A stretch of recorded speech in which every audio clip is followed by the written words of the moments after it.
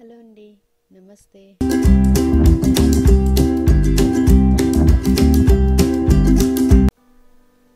ఈరోజు నేను రవ్వ ఉప్మా తయారు చేస్తున్నానండి రోస్టెడ్ ఉప్మా రవ్వతోని. దానికి కావాల్సిన ఇంగ్రీడియంట్స్ ఏంటో చూపిస్తాను మీకు. దీంట్లో నేను ఒక ఆనియన్ తీసుకున్నాను one tomato ripe tomato one tomato తీసుకున్నాను తర్వాత నాలుగు మిర్చి తీసుకున్నాను. తర్వాత కొంచెం జింజర్ చిన్న ముక్క జింజర్ తీసుకున్నాను. తర్వాత కరివేపాకు తీసుకున్నాను. ఇందులో మీరు కావాలంటే మిక్స్డ్ వెజిటబుల్స్ కూడా యాడ్ చేసుకోవచ్చు. తర్వాత ఉప్మా రవ్వ. ఇది రోస్టెడ్ ఉప్మా రవ్వ అనేది నార్మల్గా మనకి మనం గోధుమ రవ్వ అంటాం కదా అది నార్మల్గా రోస్ట్ చేసుకొని కూడా ఉప్మా చేసుకోవచ్చు. కానీ ఇది నేను upma mix roasted upma mix అనేది ఇండియా బజార్ కానీ లోటేలో కానీ దొరుకుతుంది. ఎనీ ఇండియన్ స్టోర్ దొరుకుతుంది ఐ థింక్. నేను అది ఇండియా బజార్ నుంచి తీసుకొచ్చాను. అది వీట్ రవ్వ మనం గోధుమ రవ్వతోనే సేమ్ గోధుమ రవ్వే కానీ దీంట్లో కొంచెం కోర్స్గా ఉంటుంది. కొంచెం ఎక్కువ మరీ పొడిగా ఉండదు. సో ఇది ఉప్మా కూడా విడివిడిగా బాగా వస్తుంది. మనం నార్మల్ గోధుమ నూక చేసేటప్పుడు ముద్దగా వస్తుంది కదా. ఇది ముద్దగా రాదు విడివిడిగా వస్తుంది. టేస్ట్ కూడా కొంచెం బాగుంటుంది. సో అది దీనికి నేను చేసే తీసుకున్న ఇంగ్రీడియంట్స్ అవి. ఇందులో మీరు నేను ఆయిల్ కొంచెం యాడ్ చేసి తర్వాత మనం ఎప్పుడులా నార్మల్ ఉప్మా చేసుకున్నట్టే పోపు దినుసులు అన్నీ యాడ్ చేసుకున్నాయి తర్వాత ఇందులో మీరు శనగపప్పు శనగ పలుకులు వేసుకోవచ్చు. మీ ప్రిఫరెన్స్ బట్టి మీరు జీడిపప్పు కూడా యాడ్ చేసుకోవచ్చు. సో నేను జీడిపప్పు ఇక్కడ వేయలేదు. ఆ మిక్స్డ్ వెజిటేబుల్స్ వేసుకోవచ్చు. నార్మల్గా మనకి ఫ్రోజన్ అయినా లేదంటే మీరు కట్ చేసైనా బీన్స్ కానీ క్యారెట్ కానీ అవన్నీ వేసుకోవచ్చు. నేను ఇక్కడ ఏమి యాడ్ చేయలేదు. మీ పిల్లల ఆప్షన్స్ బట్టి మీరు యాడ్ చేయొచ్చు. ఇది నేను పిల్లలకు కూడా పెడతాను. మా పిల్లలు కొంచెం స్పైస్ తినగలరు. సో అందుకని నేను రెడ్ చిల్లీ కూడా ఇందులో యాడ్ చేశాను. ఇది ఆప్షనలే తర్వాత మీరు కంపల్సరీ హింగ్ యాడ్ చేయండి. హింగ్ వల్ల ఉప్మాకి మంచి టేస్ట్ వస్తుంది. ప్లస్ అది హెల్త్కి కూడా మంచిది. గ్యాస్ అది ఫామ్ అవ్వకుండా ఉంటుంది కాబట్టి. సో అవన్నీ బాగా రోస్ట్ అయ్యాక జింజరు మిర్చి అన్నీ యాడ్ చేసి అవి కూడా బాగా రోస్ట్ చేయండి. అవి కూడా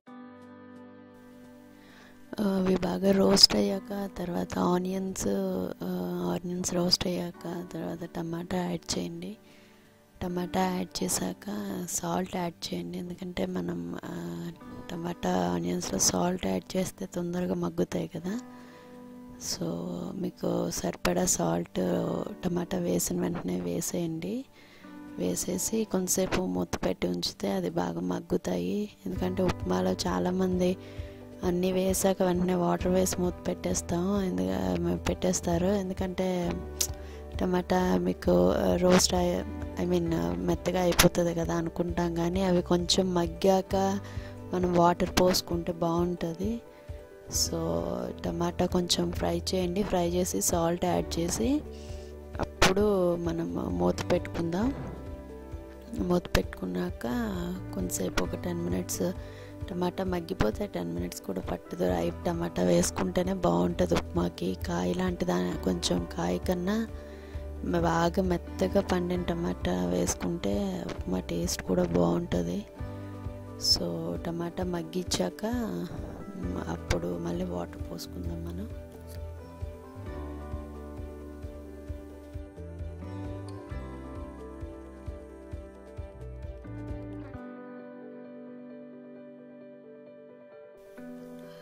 ఇక్కడ ఒక కొంచెం పసుపు కొంచెం ధనియాల పొడి యాడ్ చేశానండి. ఒక హాఫ్ టీ స్పూన్ ధనియాల పొడి యాడ్ చేశాను. ఎందుకంటే కొంచెం టేస్ట్ బాగుంటుంది. కంపల్సరీ ఒకసారి ట్రై చేసి చూడండి. టేస్ట్ నార్మల్ దానికన్నా ఇది కొంచెం టేస్ట్ బాగుంటుంది. ఎక్కువ వేయకండి కొంచెం హాఫ్ టీ స్పూన్ సరిపోతుంది ధనియాల పొడి కొంచెం పసుపు పసుపు ఇందులో వాడిన హెల్దీ కదా అందుకని నేను పసుపు కూడా కొంచెం యాడ్ చేశాను. సో అయిపోయాక కొంచెం బాగా మిక్స్ చేసి అప్పుడు మూత పెట్టండి. ఒక టూ త్రీ మినిట్స్ తర్వాత టమాటా మగ్గిపోతాయి. మగ్గిపోయాక బాగా మిక్స్ చేసి స్మాష్ చేసుకొని అప్పుడు నేను ఇక్కడ సెవెన్ ఫిఫ్టీ ఎంఎల్ వాటర్ వేసానండి. వన్ కప్ రవ్వకి సెవెన్ ఫిఫ్టీ ఎంఎల్ వాటర్ వేసాను.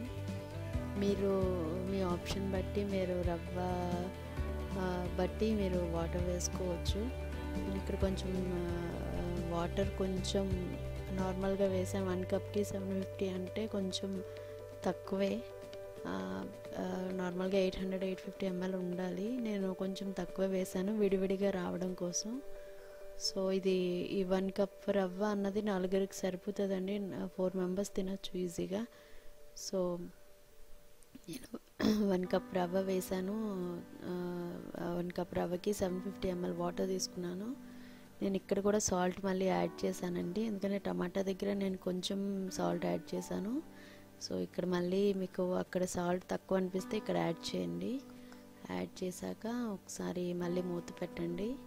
మూత పెట్టాక అది బాయిల్ అవుతుంది. వాటర్ బాయిల్ వచ్చాక అప్పుడు మీరు వాటర్ బాయిల్ వచ్చాక ఒక్కసారి ఇక్కడ ఈ పాయింట్లో ఒకసారి కలిపి సాల్ట్ టెస్ట్ చేయండి. ఒకవేళ అది సాల్ట్ సరిపోతే పర్వాలేదు. లేదంటే కొంచెం ఇక్కడ యాడ్ చేయండి. సో మిక్స్ చేసుకొని సాల్ట్ చెక్ చేశాక లో ఫ్లేమ్లో పెట్టండి స్టవ్లో ఫ్లేమ్లో పెట్టి అప్పుడు కన్ కంటిన్యూస్లీ కలుపుతూ రవ్వ యాడ్ చేయండి. ఎందుకంటే లేదంటే ఉండలు ఉండలు అయిపోతుంది. సో లో ఫ్లేమ్లో పెట్టుకుంటే తుల్లదు. లేదంటే మీరు మీడియం ఫ్లేమ్ కానీ కొంచెం ఎక్కువ ఫ్లేమ్లో పెడితే తుల్లిపోతుంది వేసుకునేటప్పుడు. సో కేర్ఫుల్గా లోలో పెట్టి వేసుకోండి. సో కలుపుతూ వేస్తే మీకు ఉండలు కట్టదు. వేసాక ఒక్కసారి బాగా కలుపుకొని మూత పెట్టేయండి. లోలోనే ఉంచండి. మూత పెట్టేసి లో ఫ్లేమ్లో ఒక two three two to three minutes ఉంచి మళ్ళీ ఒకసారి మిక్స్ చేయండి. మూత తీసి.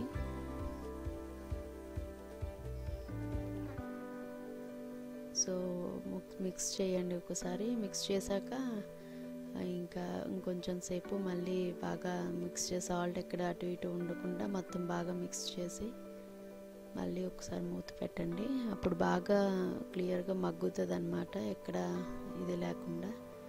గోధుమ రవ్వ తొందరగానే మగ్గిపోతుంది. ఒకవేళ కొంచెం అడుగు కొంచెం బాగా బ్రౌన్ అవ్వాలని చాలామందికి ఇష్టం ఉంటుంది అది. ఉప్మా అడుగు మాడంటాం కదా. పూర్తిగా మాడిపోదు. అలాగని నల్లగా అయిపోకుండా కొంచెం బ్రౌన్ కలర్లో రోస్ట్ అయిన ఆ పెచ్చు లాంటిది చాలామంది తింటారు.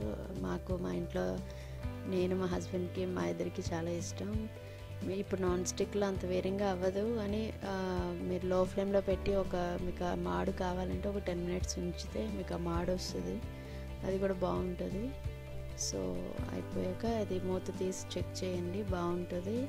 అయిపోయాక అప్పుడు సర్వింగ్ బౌల్లోకి తీసుకొని సర్వ్ చేసుకోండి. ఇది వేడిగా అయినా చల్లగైనా ఎలాగైనా విడివిడిగా బాగుంటుంది. సో మీకు నార్మల్ గోధుమ నూకలాగా కాకుండా ఇది బాగుంటుంది. సో అది మీ ఉప్మా రెడీ అయిపోయినట్టే. ఇది కంపల్సరీ ట్రై చేయండి. ట్రై చేసి నాకు ఎలా ఉందో నా కామెంట్ బాక్స్లో చెప్పండి. లైక్ చేయండి షేర్ చేయండి. నా ఛానల్కి సబ్స్క్రైబ్ చేసుకోండి.